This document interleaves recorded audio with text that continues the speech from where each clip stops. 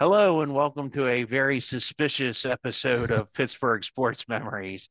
On this episode, we'll be going over some of those sports conspiracy theories that uh, you might have heard through over the years. And um, so, uh, you know, get your tinfoil hats ready and, you know, get your underground bunkers stocked with all your food. And, you know, we are not having Alex Jones as a guest on this podcast because we can't afford that kind of lawsuit. So.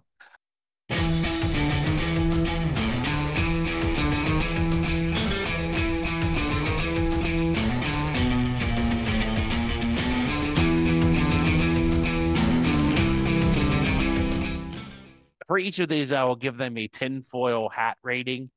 And uh, just to explain that, one would be like it's probably true, or five, just we're totally out there in ridiculous land. Like we're just we're just making stuff up at this point, right? Um, I think it's a good system. Yeah, yeah, it, it sounds right. Um, the first one was the Jesse James catch was ruled incomplete because the NFL wanted Bill Belichick to win a, a Super Bowl of some sort or just win in general. Um, so background in 2018, a key game with playoff implications, which we've covered this before. And this and you know, it was the Steelers and the Patriots, and it was in Pittsburgh. And I think the winner of that would have had home field in the playoffs, correct, Tim? That's correct. Yeah. Yeah. So the Steelers are driving down the field late in the game. Ben throws the ball to tight end Jesse James, who catches the well, catches the ball. Funny, funny, I should say that, huh? He, he catches the ball and steps into the end zone, but as he's stepping into the end zone, he kind of leans in. And as he's leaning, his hands hit the ground and the ball moves in his hands. And I that's my definition of events. You know, there's all kinds of fun stuff, and people, you know, say so the ruling was that the ball had hit the ground and I don't think the ball ever hit the ground. I, I still think his hand was underneath the ball and the ball was spinning on top of his hand. But who am I? I'm not Alfonso Ribeiro. So um here, dude, I have a pretty cool video of this of this stuff. So uh, we'll play. This has a lot of cool audio and stuff. First and goal at the 10. A little high drama from Heinz Field.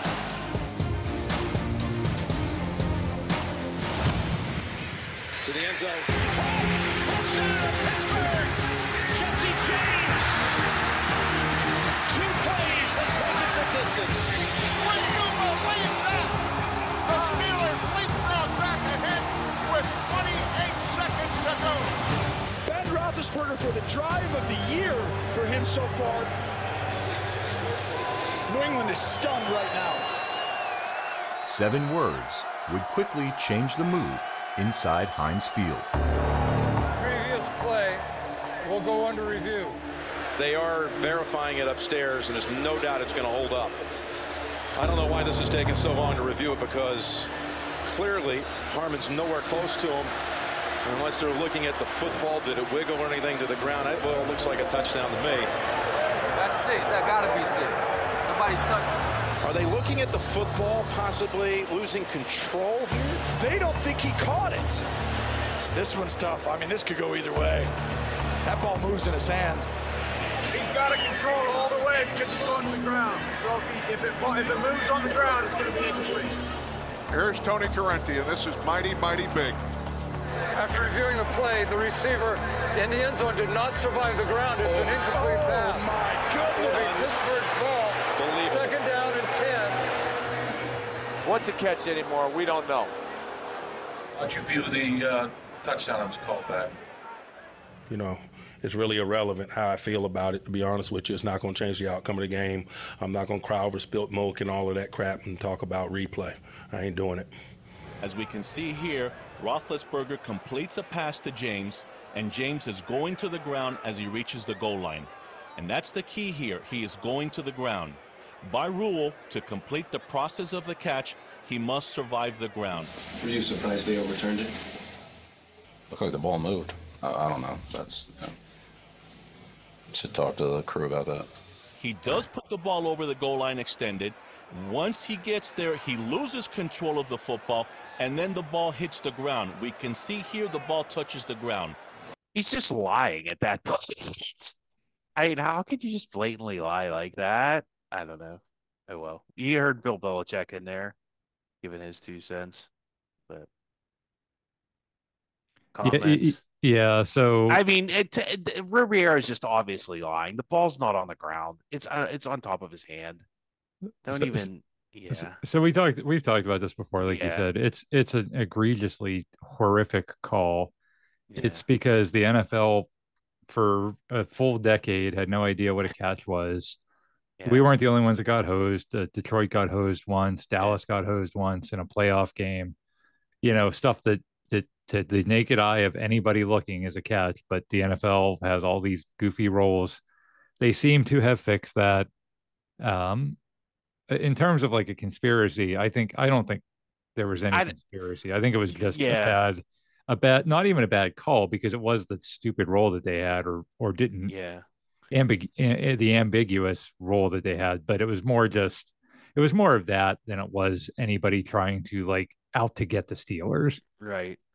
Right. And and I and that video is pretty good because it gives like a lot of the quotes like Belichick deadpanning and Riveron just totally lying. Like I don't even know what he was looking at. Like it's like one of those don't believe your lying eyes kind of things. It's well like, he's got a defense. at that point they had already made the call so Yeah. what's he going to say like well if you look very closely you can see how we messed this up i mean he's not going to say that so I, Well, I, again again yeah. it's just it's just the Yeah. terrible it, we joked about it in a previous episode steve it's like you you couldn't just catch it you had to catch it you had to like take two steps you had to hold it up in the air count to five you know if- say the pledge of allegiance if he would have if he would have walked into the end zone instead of diving into the end zone, it's probably a catch. If he would have Right. walked in the end zone and then dropped the ball and never gone to the ground, then it's a catch. Okay, whatever.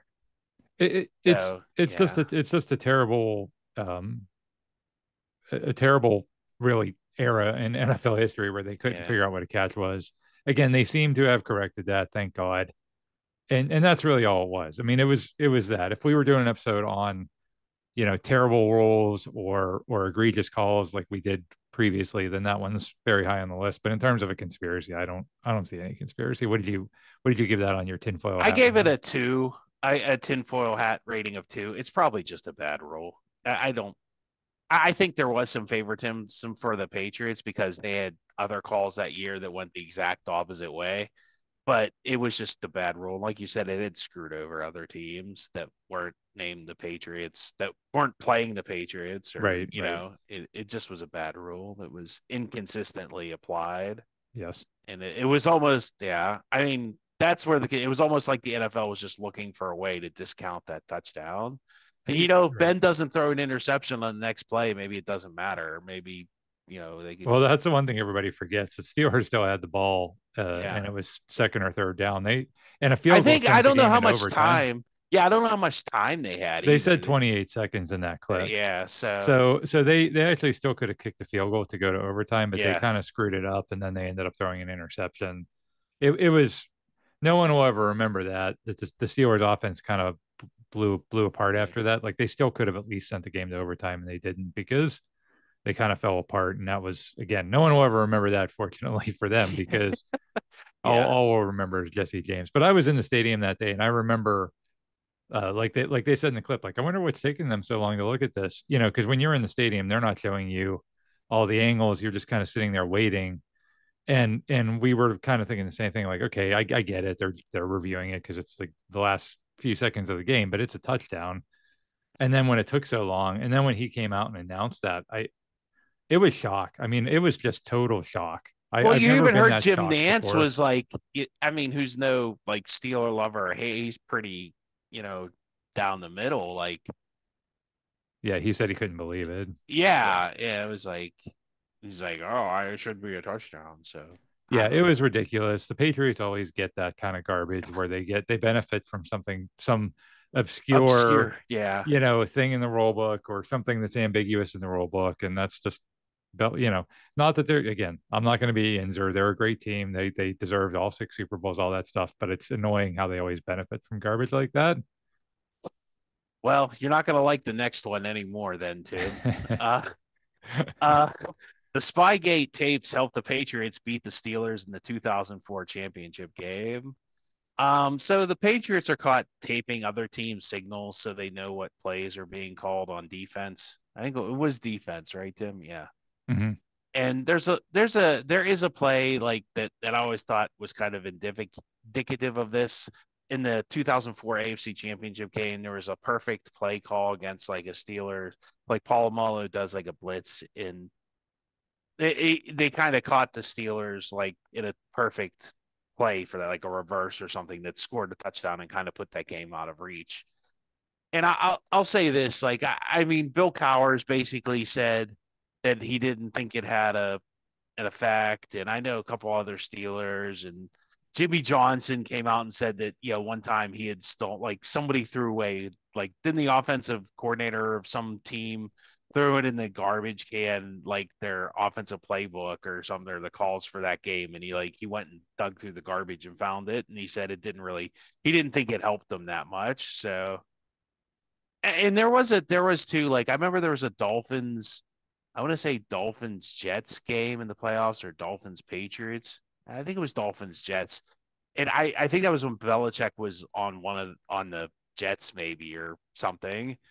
And like Bernie Parmalee had had given the, whatever team he, I don't know it was the Patriots or the Jets had given the, them all the signals of the Dolphins, and it's like if you know like a guy's going to do that, like that's such an easy like just change one or two of your plays and you'll totally cross somebody up and do it at a key moment. But um, I I don't know. I I put that as a tinfoil hat rating of one. I mean I think it's more of like Eric Mangini was just getting revenge on it on on his former employer Bill Belichick, and because that's the guy like who was involved with like pointing like didn't he wasn't he the one that pointed out blew that, lid on all that yeah. Yeah. And yeah. Roger Roger Goodell didn't help things by burning the spy gate tapes. Like if they were so like not helpful and innocuous why not just put them out there and okay we'll see what they are and I, I don't know. It, it, yeah, I I've always thought that whole thing was overblown. I mean, the year that the year that they got caught, and and then the the like focus was super on them was the year that they went undefeated. So it wasn't like oh they oh this is just they won all their games because they had all these signals or whatever. I'm sure it gave them an edge. I'm sure it did. Um, you know, the Steelers didn't play well in either of those championship games. You didn't mention the 2001 game, but there's people that think that that you know if they were yeah. doing it they would have been doing it then too yeah and but that that game was the one where Troy Brown returned a punt return for a touchdown because Troy Edwards stepped out of bounds or what stepped out of bounds and came back in got a penalty yeah. then they had the block field goal return for a touchdown that that has nothing to do with knowing the play that's coming like that they were going to kick a field goal that was the play that was coming you know so I don't know, know, Tim. Maybe they weren't. and, and, in 2004, I mean, Brady just carved up the defense. Ben was a rookie. Ben made some bad mistakes. He threw that interception to Rodney Harrison. It was a pick six, you know. And and did Rodney Harrison like know where to go on the field? I don't know. Maybe. I, I just. Well, the know, Steelers made like a furious comeback in the second half, but they kind of dug too big of a hole in the first half. Yeah, I mean, D- Denver knocked New England out of the playoffs in 05. Next, yeah, the next year. The so. Indianapolis knocked them out of the playoffs in 06. So yeah. if if they if that was just their bread and butter and no one could they just knew every play and no one could beat them, then they would have won every Super Bowl and they didn't. You know, so I I think it gives them an edge. I think it's you know, there's truth to it for sure. I I probably actually would have given it maybe a two or a two um, but did I give that? I gave that one a one. Yeah, that's what I said. You gave it a yeah. one, which is yeah. You're saying it's it's really not. Um, it's true. It's true. It's oh, true. oh, I see. It it's goes not... the opposite. The higher you go, gotcha, the more ridiculous gotcha. it gets. Okay, okay. Yeah, so I, I, I guess I'm sorry if I wasn't clear about my rating. No, scale. you were. I'm sorry. I, the more tinfoil hats you're putting on, the the worse. the crazier you are. I get it. I get it.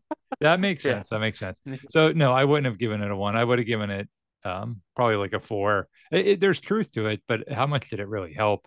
but it really happened. It, re- it wasn't like, oh, yeah. oh it, it's like provably true okay. that it happened. It now, happened. how much did it benefit it? Right. And that's the debate. That's yeah, the conspiracy is that the Steelers, the Steelers win two more Super Bowls or in two more Super Bowls. if the Patriots don't have a video camera, and I I just don't buy that at all. I really don't. But people, you know, that's what people want to believe, and I and I get it because Patriots they they cheat, and you know, they did cheat. Like you can't say that they didn't cheat.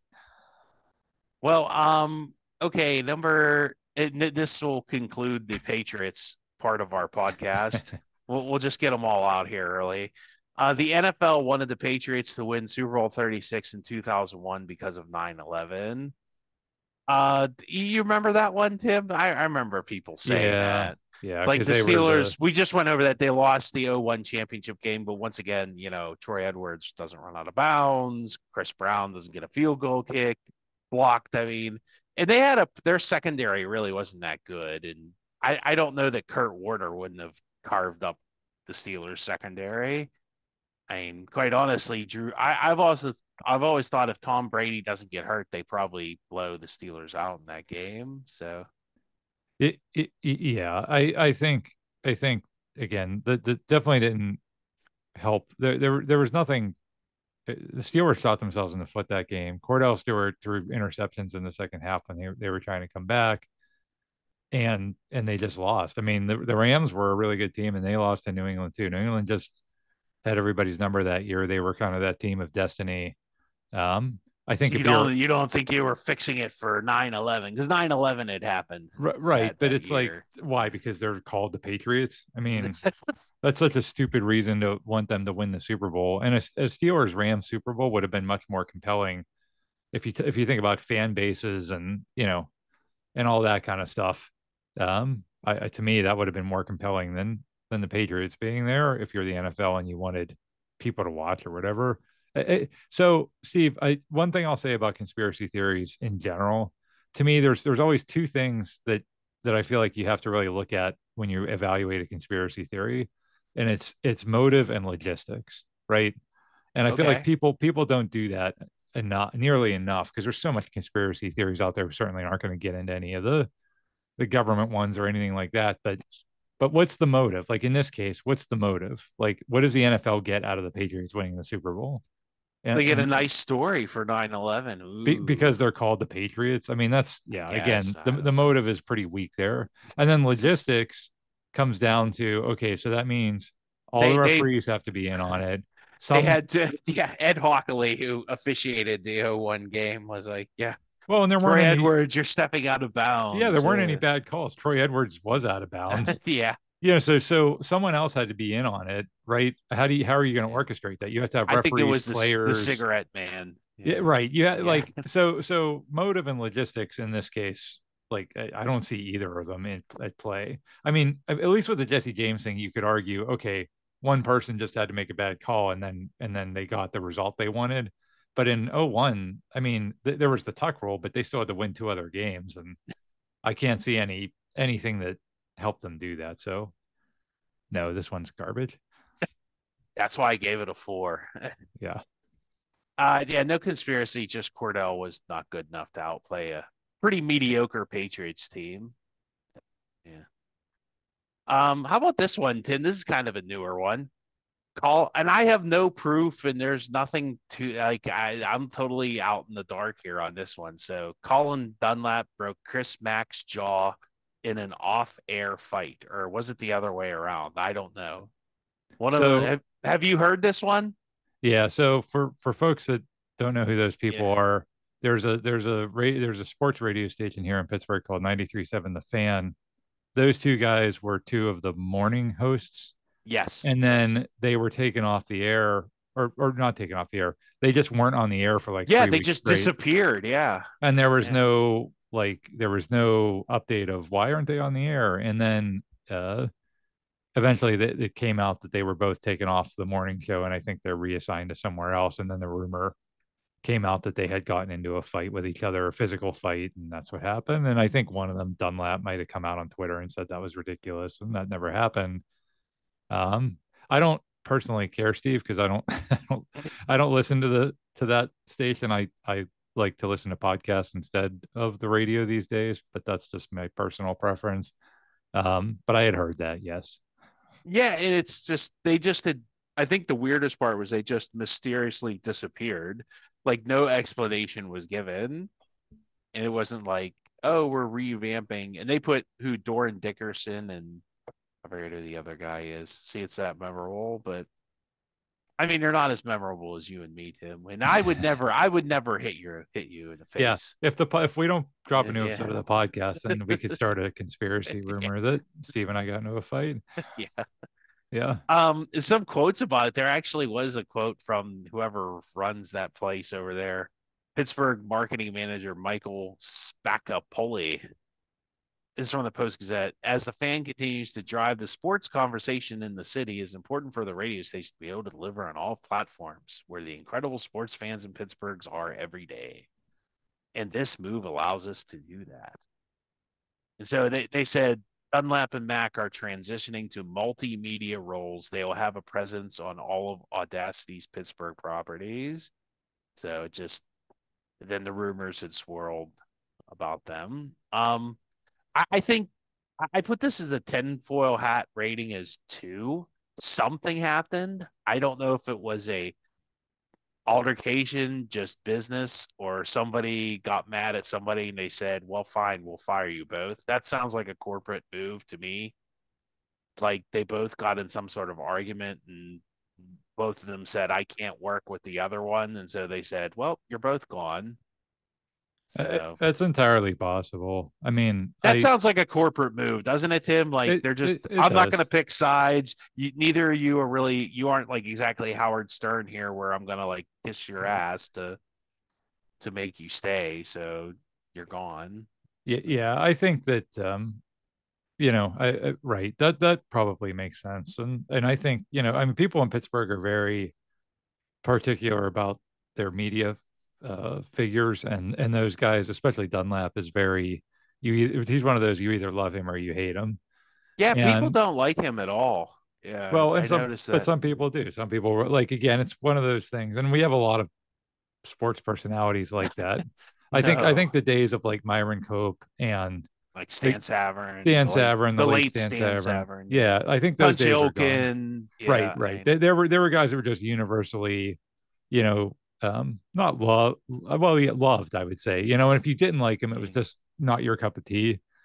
As opposed to now, it's kind of like it's it's that almost it's it's very sports esque, right? You either I either love that guy or hate that guy, and and so I think that probably is what led to some of that speculation. But to your point, when you handle something like that, you just somebody disappears off of a radio show and then you don't give any explanation for three weeks.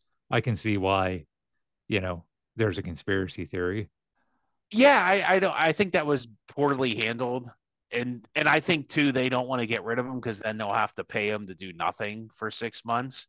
So they just kind of made up this like role that they're doing. So and- make it up, make it up on day one, right? like, yeah, yeah. Why, why wait three weeks? But that, like you said, that Yeah. that sounds like t- you're right. Something happened. Who knows what it was? Something happened, and they needed time to sort out and figure out what they were going to do about it. And So- and once I guarantee you, I think both their contracts are up in January of next year. I guarantee you, by the time January rolls around, neither of them are with the station anymore. I, I'd be willing to bet cash money on that. I mean, it will. It, it just, I, I just guarantee you, neither of them are with the station next year. Wh- Whenever that point in time is, that they don't have to pay them money anymore. They're going to be gone. Mm. Un- unless they you know get some crazy you know kind of something happens where they make their own way but oh well. Good luck in both their future careers i guess so. Um so uh here's a good one. Uh jerry jones paid neil o'donnell to throw two interceptions against the cowboys. In super bowl 30 the steelers lose to dallas because of neil o'donnell's two interceptions. And yeah, the second one was really bad. He did throw to was it, Larry Brown, who was just kind of just standing there. But I mean, really, Jerry Bo- Jones had to pay him for that. I, I, I don't. uh, Once again, your motivation and logistics. So like, like literally, wouldn't like if Neil, let's say Neil O'Donnell doesn't throw those two interceptions, leads the Steelers to either a comeback or an almost comeback, but like it just falls short on fourth down, or you know, he, or or he pulls a Ben Roethlisberger and throws like a late second touchdown and they win. God forbid, like wouldn't Neil O'Donnell be worth a ton more money than he already had gotten in free agency? I mean, I, I just I just don't believe Jerry Jones was like going to be able to pay him enough money, and then like it would like cast a shadow over his career. Like Neil O'Donnell's like never really lived that down. Like if Neil O'Donnell does that, he's a legend in Pittsburgh for the rest of his life. And two, like how could like how could the Steelers ever let him go in free agency like they did? Like, don't you think so, Tim? Like, how how would Neil O'Donnell have ever left town if he's a Super Bowl hero? Like, would Dan Rooney have been that ballsy to like, nope, hit the bricks. We're going with Mike Tomczak. yeah, yeah. I mean, uh, so so number one, I I just so so I've always thought this one was crazy. However, I just want to validate why people think it because if you watch the replay of those interceptions, especially the first Larry one, Brown's wide open. He's wide open. Too. and and and the first one especially, he he's not Larry Brown has no business being where he is. Like I don't know why they had Larry Brown on a side of the field where there were no receivers and why he stayed there. Like I I get you're playing zone, but you have to I don't know, at least run in the direction of the receivers and he's just covering grass. And Neil throws it right to him. And the second one's similar, although it's not quite as not quite as bad because you can make the argument that Andre Hastings was go, went the wrong way. But so I so I get why people think that. Also, like we talked about in the episode we did on that Super Bowl, Neil O'Donnell was always known as the safe quarterback. He didn't throw bad passes. He would take a sack rather than throw a ball into tight coverage uh, or throw the ball away rather than you know that was that was who he was. So for him to throw not one but two completely egregious interceptions to the same guy uh, it, in, in the second half of the Super Bowl, I, so I get why people think it. Again, going back to to logistics and motivation, I mean, you're right, Steve. There, there, the motivation to win. He was Neil was going to be a free agent after that game was over. A super, the Super Bowl winning quarterback being a free agent imagine what that would have been like for his career, the money he would have gotten paid, and the people that would have been falling all over themselves to sign him. Th- there was way more motivation for him to win that game than there was to take take whatever money Jerry Jones was supposedly offering. The other thing is, you know, that was the Cowboys' third Super Bowl. So did Jerry Jones pay Jim Kelly to throw a bunch of interceptions, or Thurman Thomas to fumble in that one Super Bowl? I mean, or, or not remember where his helmet is. uh, or- right, right. I, I mean, so I, I just, yeah, there, there's not. It, just doesn't make a lot of sense. Also, uh, you know, if if he's paying Neil O'Donnell to lose the Super Bowl, if I'm Neil O'Donnell, I'm I'm throwing an incomplete pass on fourth down rather than throwing the ball to the wide open cornerback, right? Yeah, Like, it looks less said. obvious. Yeah, yeah. It's I like, mean- oh, it's just a bad pass. Yeah. Yeah, yeah. I mean, did you ever did you ever see that movie Eight Men Out about when the White Sox threw the Yeah. the 1919 World Series? And there's this there's a scene in that where the pitcher, uh, they're like they're they're like kind of like yelling at each other like through gritted teeth, like stop, you're making it too obvious, right? Because they're they're making these terrible throws, and you know it it was raising suspicion. If if you're O'Donnell, you're the quarterback, you're the guy with the ball in your hands on every single play, then just wait until you get to a certain spot in the field to overthrow the guy, throw the ball into the ground. Oh, fourth down, turn it over on downs. I mean, it'd be, it would have been so much easier for him to uh to to to throw the game and not look like uh like he was doing it on purpose. Absolutely. I gave that one a five, a full blown, ridiculous, stupid, didn't happen. I'm not even sure what you're talking about. But like I said, I, I think the Steelers would have, if he's like a Super Bowl winning quarterback, I don't see how the Steelers don't re sign him. But I don't know. Dan Rooney, I mean, he did, he did some, he, he didn't, he didn't blink when it come to stuff like that. So it would have been interesting. We did a like we did an alternate history episode. That would have been an interesting one to, to sort of think about. Like, what if what if Neil leads them on the game winning drive and they beat Dallas in the Super Bowl? What what happens after that? That would be an interesting thing to explore. I wonder, yeah, I wonder what would have happened. I'd have been. hmm. Um. So, uh, sticking with the Steelers in the Super Bowl, um, the N- uh, the NFL referees handed Super Bowl forty to the Steelers, so Yeah. Jerome Bettis could get his Super Bowl ring. I like your reaction. Just a. Eh.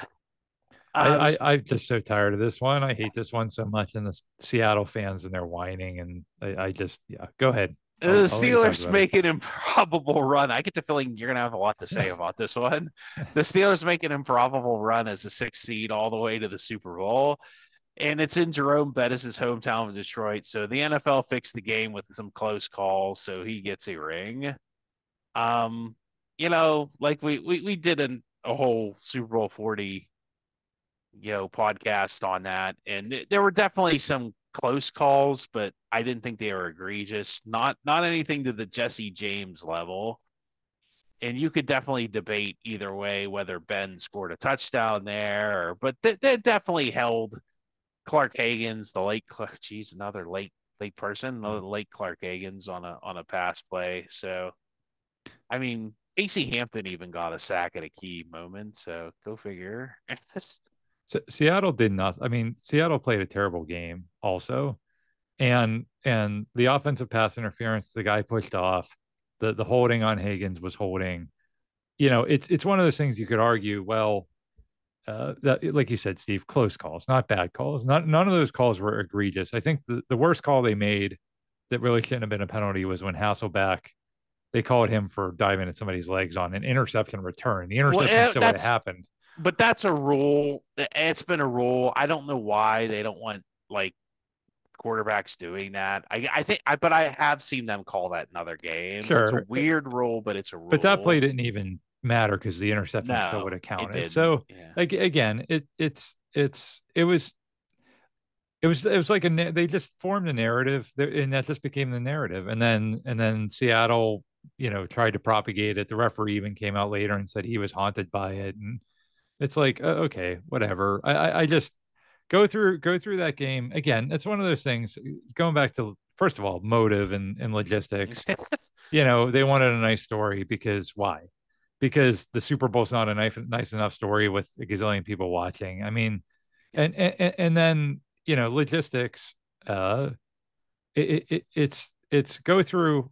If you really go through and analyze the the each play that they say is a bad call, just go through the whole game and analyze it. Then pick out some of the other calls. You know, oh, they called offensive pass interference in the end zone. They never call offensive pass interference except in the same game they called it on Heath Miller.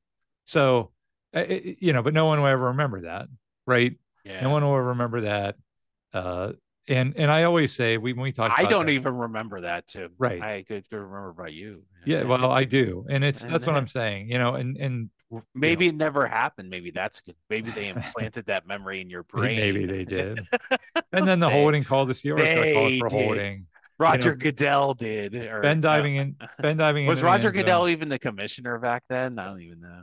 Oh, maybe not. Yeah, Ben Maybe diving was in, P- Paul Tagliabue did. Ben diving into the end zone was could have gone either way, but they had called it a touchdown on the field. There was no way, there was no evidence to reverse it, Uh, and and that was third down. They still could have dove into the end zone on fourth down. Again, there's. All right, I'm going to stop because I get, I just get annoyed talking about this. Anyway, um, getting back to the NFL, we have a lot of NFL stuff on here. Um, the NFL refs handed the AFC Championship game in 1998 to the Broncos, so John Elway could get a Super Bowl. So this is like the reverse Jerome Bettis kind of, not reverse, but just just substitute John Elway instead of Jerome because John Elway was kind of the same part of his career as Jerome Bettis at this point, and um, you know, it- it- there were like John Elway at that point had lost three Super Bowls and was nearing the end of his career. And so the refs did call two pass interference calls late in the half that gave the Broncos a TD in that game right before the half. Um, Elway and the Broncos, they go on to beat the Packers, and Elway helicopters his way into NFL and Super Bowl history. If you remember the helicopter slide. Mhm. Yeah. Um, I, I just think there's another case of Kordell Stewart was good enough to get to the championship game, but wasn't good enough of to get you past the championship game. And uh, you know, I, I don't know. They could that was that this no, they didn't have Carnell Lake playing corner that year, did they? They did, yeah. Oh, they did. I Yeah. thought so. And so they, I mean, Carnell Lake was a great safety, probably one of the best, like best Steelers safety. Like if Carnell Lake plays for any other team but the Steelers or like the San Francisco 49ers, like he's probably in somebody's like ring of honor or something but because he played for the Steelers, he's like, oh, that's like our fifth or sixth best corner or safety that ever played for us. Isn't that uh, we we need to do a podcast on him, Carnell Lake. Mhm. Or he, he's an overlooked guy that people forget about. He is. Um, I, I just I don't know. And then Levon Kirkland, who's like one of my favorite players, couldn't stop John Elway and Shannon Sharpe on a big third down late in the game that would have because the Steelers were like coming back, and I think it was like twenty to seventeen, and if they would have stopped them there, they would have had to punt back. Maybe maybe Kordell throws a hail mary again or something. So you never know. Um, I think I give that. I did not give this one. What what tinfoil hat rating should I give this one? I forgot to give this one one. Uh, let's Five. say five. You think it's ridiculous? It- I'm it's- gonna give it. I'm gonna give it a three, the same as the Seahawks one for Super Bowl forty. Well, I would have given the Steelers Seahawks one a 12. Um, 12. the, the, wow, you're off the charts, man. Can't even measure it? it, it, it, it, those pass interference calls were, were very ticky tacky calls. They weren't good calls. It was one drive at the end of the first half. Kordell threw an interception in the end zone in the first half. He threw an interception in the end zone on the second half. In the second half, that's that's two drives It's- where the Steelers could have scored, and he throws an interception in the end zone. That's that's why they lost that game. Um, they, they were winning that game. They were actually up early. They were up 14 to 10, I think, when Kordell threw that first interception. So, uh, you know, if if the NFL really wanted to hand it to Elway, there would have been more than one bad call in the second quarter.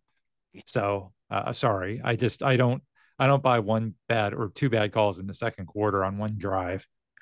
You know, is a conspiracy theory. They were just bad calls. There's bad calls in a lot of games. Um, how about this one? And I, I always like this one. Um, the NHL, the 2005 NHL draft was rigged so the Pittsburgh Penguins could draft Sidney Crosby to save their troubled franchise. So, shortly after escaping bankruptcy, the Pittsburgh Penguins were still in trouble as a franchise. They threatened to move to Kansas City. The team then won the 2005 NHL draft lottery for the rights to draft Sidney Crosby. Shortly afterwards, an agreement was in place to build a new arena. So, uh, I I think this one is pretty ridiculous. It's just the Penguins got lucky and teams like I don't know the New York Rangers don't like it, and maybe probably Toronto. And I, I think if Philly fan, if the Flyers fans were smarter, they would have come up with this one. But you know they weren't smart enough to. They better beat people up, man. Yeah, that's right.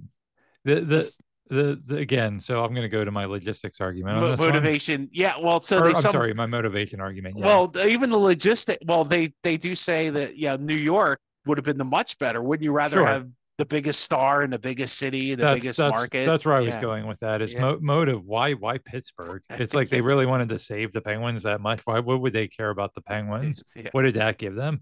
You could have sent them to New York. You could have sent them to the Kings. You could have sent them to Toronto, like you said. I mean, there were so many other places that would have been a, a better get for the league to have him there than Pittsburgh. So you know, the, I think th- this this is. I feel like these kinds of conspiracies are born out of the the NBA one from the 80s with Patrick Ewing. Because when when Patrick Ewing was coming out of Georgetown he was I mean at the time he was the the biggest basketball star in the world. And the conspiracy theory there is that David Stern rigged that lottery so the Knicks could get Patrick Ewing. And then and then when you look at motive that at least makes sense they wanted Patrick Ewing in the New York market the biggest market in the country right Yeah. and and and the marquee team, the Knicks. So so whether that's true or not, I don't know. But at least that there's some you could make a fair argument there. Why, again, why why Pittsburgh? What what did they what did the what did the league get out of you know Pittsburgh not moving to Kansas City? Uh, I don't know. I not not having not being and I still think the whole Kansas City thing was just a negotiating tactic by Mario Right. to get the city to They, the, the Penguins would have stayed. I think the league knew that. The league would have fought for them to stay anyway. Yeah. Like like they didn't need Sidney Crosby to stay. They just didn't. So yeah, this this one there's there's nothing there. well, so they're they didn't Nick Perry the uh the No, lottery balls. No, they did not. Okay. Um, I, I gave that tinfoil hat rating a five. It's just a rumor started by jealous Rangers fans, and like I said, the it's just because the Flyers fans weren't smart enough to come up with it, except for their Crosby sucks chant. So, um, the next one is another Penguins one that should be fun. Uh, the Penguins tanked to get Mario Lemieux, and uh, actually, fun fact, we did a whole podcast on this. Um, the. Penguins are a very poor to mediocre franchise with low attendance, and they need the superstar to get things going for hockey in Pittsburgh. So they lose intentionally. So they intentionally lose games to get the number one pick in the draft, some guy named Mario Mario Lemieux. And they, they had to lose more games than the New Jersey Devils that year, who are also not good. Um, basically, I gave this one actually a tinfoil hat rating of one because it is true. Because basically, now Eddie Johnston won't admit it, but Lou Angotti, the coach of that team, but we, I think we kind of just said like maybe he was just a bad hockey coach. Maybe he really was trying to throw games to get, you know, Mary Lemieux. So, what say you, Tim? Do you think it's definitely true? Yeah, I think it's absolutely true. I understand why Eddie Johnston won't fess up He get kicked out of the league if he. Well, yeah. and he just he just wants to preserve his integrity. I get that, but honestly, he'd be a bigger hero. I think he's a bigger hero in Pittsburgh for doing it yeah. because he put his job on the line. Angotti put his job on the line, and they they did what was right for the franchise. I think it was absolutely true, but I get why they're not going to come out and admit it. And and like they were they were the coach and the GM, so they weren't the players. They couldn't. We talked about that. They couldn't be on the ice, you know, making a bad pass or being the goalie. Like, oops, I let the puck in. But what well, they, did send that goalie down who was doing good. Right, right. That's what they could do. They could they could send down the goalie that was doing good, put in the guy that was delivering milk. Remember all that. So Yeah. we covered all that in that episode. Go back and listen. It's it's a really fascinating story. I feel like that would make a good Hollywood movie someday. Yeah. Uh, but yeah, I think that one's for sure true. Yeah, it's. It, it- I mean, Eddie Johnston, to his credit, will deny it, but we all know what really happened. and you know what? Hey, we're okay with it. Um, Yes.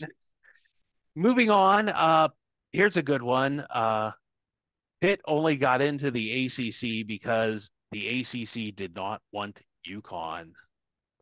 Ooh, have you ever heard this one, Tim? No. Okay, so the Big East is dying, and Syracuse is offered to join the ACC. Um, the ACC wants to have UConn join to make the conference stronger in basketball, but it's actually the move is blocked by former Big East school and current ACCC school, Boston College. And actually, I, I there's a fair, I think there's a fair amount of truth to this. Um, Gene DiFilippo, who is the BC athletic director at the time, it publicly admit that the school played a role in denying UConn an invitation from the ACC.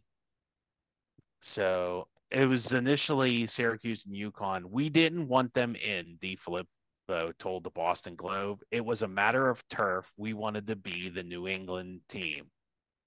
So, uh, yeah, uh, he actually then he said we have a huge television market. The addition of Pitt and Syracuse gives that Boston College some Northeast rivals.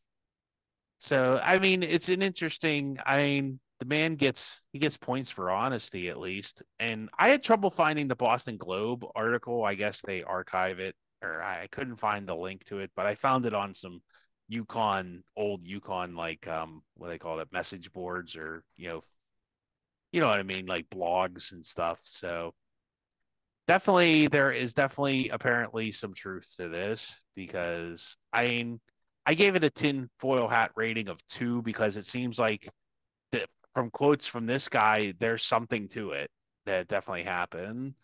But um, I also think it's the old classic of sour grapes from UConn. But you know, don't cry for UConn too much. They've won a national championship in basketball more recently than Pitt or Syracuse or Boston College, quite honestly. and now in football, they've kind of gone into the wasteland of not being in a power, whatever it is, power three, power five, whatever it is this week, Tim, before they all condense again. So I, I, don't know, Tim. What what what say you? Would have would have do you think Pitt only got in the ACC because they didn't want uh UConn? So so the conspiracy so because the Boston College guy admitted they didn't want UConn, but the conspiracy is that the ACC It wanted they Capitu- wanted UConn. and- cap- and yeah, they- that they right, and they capitulated to Boston College and selected Pitt instead. I mean, yeah, I, I get why they wouldn't want UConn for sure. well, That that's in mean- their demographic. Yeah, it's like in Yeah. or what? What would you call market region Yeah, market, yeah, yeah, yeah. But that doesn't mean the ACC. The ACC could do whatever they want. Boston College was a fairly new school to the ACC at that point, so um, yeah, yeah. Did Pitt only get in because of that? I, I think it's an interesting theory, and like you said, it definitely holds water because you have Boston College on record saying that they opposed it. Uh, UConn, remember too, UConn was a football as a football school was really on the rise at that point. They had won. I think at that point they had won a BCS. Yes. Yes. Yeah. So they were they, they weren't they were a decent football school and they were of course a dominant historically dominant basketball school. So I can definitely see the ACC wanting them. Like imagine UConn playing Duke every year in basketball that in North Carolina that would have been a great Yeah. addition to great the matchup. basketball side. And and really in terms of football I don't in, at the time that it happened, I don't know that UConn I don't know that Pitt really added more as a football school than UConn did if we're being totally honest. So Uh, I think in I I think in market, I think Pitt's not splitting the market with Boston College is probably the biggest fair. I just meant in terms of like the the how good the program was. competitive. Yeah. I I don't know. I think UConn was in a pretty weak Big East, so. Well, so was Pitt, and UConn Yeah, was better, I- and UConn was better than them. So, But this was back when Pitt. Well, no, 2005. So I guess Wannstedt was still there. Was he? Yes. well, it was it was like 2011, 2012, around Okay, that time is yeah, when they when they made all this. so that we've gone through like 10 different coaches. So, yeah. yeah, So so I yeah, I think I think it's a legit theory for sure. Um, here's a good one. Uh, Penn State and Joe Paterno wouldn't play Pitt because of revenge for not joining conference a conference with them. So I actually was able to find a UPI article from 1981. Hey, look at me, Tim. I put on my little like you know reporter's hat and was like, "Hey, Sonny, get me the article from 1981." Um, so is uh Pitt and Penn State are in talks to make an all Eastern concert conference. Pitt has been very active in making things happen. Paterno told a group of reporters last month at a state college hotel. They are excited about the possibility of an Eastern conference. Pitt attended every meeting, said Casale, the athletic director at Temple. We thought they were gung ho for a full conference concept. But all the time and planning went out the window Wednesday when the Pitt administration, in all their wisdom, and I added that, announced the university would join the Big East for the three years, beginning with the 1982 83. And that killed the Eastern League before it could get off the ground. The defection of Pitt, which is nationally known football program, this is 1981, Tim. So we were nationally known back then, and big Yeah. city exposure would have put a viability of all a new all sports conference on the critical list. So they were under uh, when we knew the Big East was courting them. Uh, this guy said, but we under the person that Pitt had turned them down. Um, also, Dave Wannstedt had said he had talked to um, Joe Paterno. Um, Paterno had no interest in reviving the Pitt Penn State rivalry, even though Wannstedt had telephoned them about it when both were still coaching. He said, Dave, tell Jeff Long I have no problem with Jeff, but here's the deal. As long as I'm here, it's just not going to work out. Juan said, said, recalling his conversation with Paterno. Why and how, I really don't know. Once that said, and didn't ask and didn't really didn't care. Gotta love Dave. Um, I gave this a tinfoil hat rating of two. It's probably, I, I think it's true more than false. I didn't give it a full one because it's still kind of murky out there who did what and to whom. Probably, probably is a revenge move by Paterno for not going along with them in the conference in the early 1980s. And it maybe was best for Pitt considering all the baggage Penn State has now. And once again, we are just talking about how like they were um splitting splitting the market. If Pitt and Penn State would have tried to, you know, join like the Big Ten eventually, let's say all those you know, eventually they would have had to try to join the Big Ten or something, right? If you look in your crystal ball. We'll talk about a what if episode, huh? Did we do Mhm. that as one of our? I don't know. I think we did do that as one of our what ifs. Um, and like you know, they, they would have they would have had trouble. I think that's one of the reasons Pitt has never been invited to the Big Ten is because they once again the UConn thing. Like, why does Penn State want to split its territory with Pitt? Not that I don't know. Yeah, and it was interesting. That was Pitt that blew up that Eastern Conference. I, I think that there's a lot of truth to that. Paterno, Penn State's always been uh, arrogant and petty. That's two things you can always say about the about the Penn State football program, and uh, that fits both of those categories. It does, and and you know when they killed the when the rivalry was killed at one point paterno said i i remember correctly he would only do it if pitt played there every, two out of every three years. Something like that. It was like a two to one or three to one or something stupid. Yeah and that just reeks of um i'm still mad at you for something happened in 1981 he made and, a bad that's called a bad faith offer. You you make an yeah, offer that you know right. the other party won't ever accept. Right yeah. but but the way that they the way penn state always talked about it for years was just you know oh you know we, we just we have we play who we play and and you know uh, well, they just pretended like there was no history there was no desire for it it was just another school right? And it was just super arrogant. I always hated that mentality. Tim curley who was their athletic director who ended up going to prison because of said arrogance uh you know he he used to do that all the time. Oh, oh yeah pittsburgh sure whatever i don't really what's where, where's that at again? I mean that was their attitude. And and i think i think it, it probably was i i think paterno was offended and and maybe pitt made the wrong call there i don't know but i think that that was all based in arrogance and. I, I think pitt made the short-sighted call. Yeah. Like they saw money on the table and like, well, this gets our basketball team into a conference and our football team will be Yeah. just fine. and and and again And they did not see they did not see like Paterno correctly assessed that everything was going to go to major conferences for the Right. next 20 to 30 years. right and it was like you said Pitt was just like, hey, look at us. We got a winning football team for the first time in 40 years. Yay. yeah pitt was such a big Yeah. draw at the time they never could have foreseen so you, you yeah if if i guess i'm i guess it's a fair point if paterno was upset about it he probably had a right to be upset about it right so i'll give him that i think you know that that that part makes sense but to to kill a rivalry that so many people in this area grew up on and loved because you're you're bitter about something that's just you know anyway i i have a lot of negative things to say about penn state football so i'm just going to stop Uh, I mean, whatever. Uh, they're gonna. Are they playing each other this year? No. No. Yes. No. Oh well. Uh, Lincoln Riley stole Jordan Addison from Pitt with lots of money from USC. So it's the uh the was this there was a Supreme Court ruling that said that you could uh you couldn't like make players not play for free that college scholarships weren't compensation per se it was if you if a person wanted to sell their likeness and image they could and you couldn't use their likeness and image without you know uh compensating them which sounds fair to me since we outlawed indentured servitude and slavery a long time ago uh, so it's the NLI deal age, and Jordan Addison transfers the USC under allegations of tampering.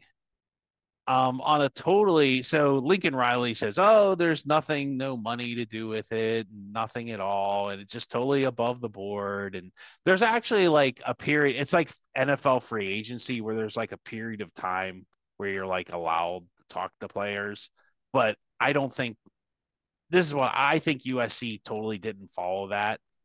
And um, on a totally unrelated note, later that season, um, can you believe it? Jordan Addison signed an NLI deal with United Airlines, who is a sponsor of the USC football team. What a lucky break for him, Tim. I bet he would have gotten that same deal if he would have stayed at Pitt, huh? So, uh, tinfoil hat rating, I gave that a one. This happened. There's no way. I don't care what Lincoln Riley said. He did it. He he paid him to leave, and you know, good for Jordan Addison. He got paid, but hey, you know what? What when did he? What draft pick did he? Was he in the second round or no, third he round? was no. Oh, was it a first round Minnesota, still? Yeah, Minnesota Okay. drafted him in the first round, so he he did he did okay for himself. I I yeah, I think that's absolutely true. I think this NIL NIL thing it will hopefully settle down at some point, or they'll figure out how to maneuver it. Right now, it's very wild west, and and I feel like you're gonna just have stuff like that all the time, where you can just lure people away with with Yeah. uh, you know prizes, big prizes, and, I don't so think it it- is what it is. Yeah, it wasn't the money that I think Narduzzi was upset about. It was the tampering with like basically recruiting a player while he's still playing for another team. And I think that and Narduzzi has a point. It's like we developed this guy. Why do you get to just come in and treat us like a triple A baseball team and raid our roster? So- right, right. I mean, and it, he has a point. Yeah, I mean, it it was it was nonsense. At the same time, if you're Jordan Addison, you know Kenny Pickett had graduated. Did you really want to stick around for another year to have Kedon Slovis throw you the ball, and and you know potentially hurt your your draft positioning, or did you want to go to a bigger marquee school like USC? So even without Lincoln, he Riley didn't really have that good of a year at USC either, quite he, honestly. he he did okay, right? He he definitely wasn't as good as he was with Pickett, but at the same time, would he have been better at Pitt? I'm not sure about that either. Yeah. You know, we didn't Pitt Pitt was Pitt had a little bit of a drop off with their offense, especially in the passing game, because again, they their best quarterback in the last 40 years had gone to the NFL. So uh, I I don't necessarily fault Addison for making that decision. I just I wish there was less of the stuff you talked about, and I believe that that absolutely does happen and did happen in this case. Um, how about this one? Pe- Kenny Pickett was offered by Notre Dame to transfer. Ooh, after a disappointing 2021 season, what was his like first senior season? Was that 2020? It would have been 2020. Yeah, 2020. There you go. Notre Dame and used car salesman Brian Kelly try to tamper, I mean, recruit Kenny Pickett to Notre Dame. Um, okay, I just found this out. You know, I'll throw it out there. He said, speaking with Roddy Jones, I guess people reached out to Kenny Pickett to go to Notre Dame a year ago. I had no idea. He didn't say anything to me, which obviously it didn't get that serious. But Notre Dame recruited him through back channels, and the back channels were, you know, Brian Kelly's burner phone. I, I guarantee it. So, um, oh, it's and then he goes on to it's not former Notre Dame coach Brian Kelly, but someone's telling these guys, whoever they are, to come to Notre Dame, right? It was definitely Brian Kelly. There's no way it wasn't Brian Kelly. It is Brian Kelly. That's a move that he would make. So, uh, you know,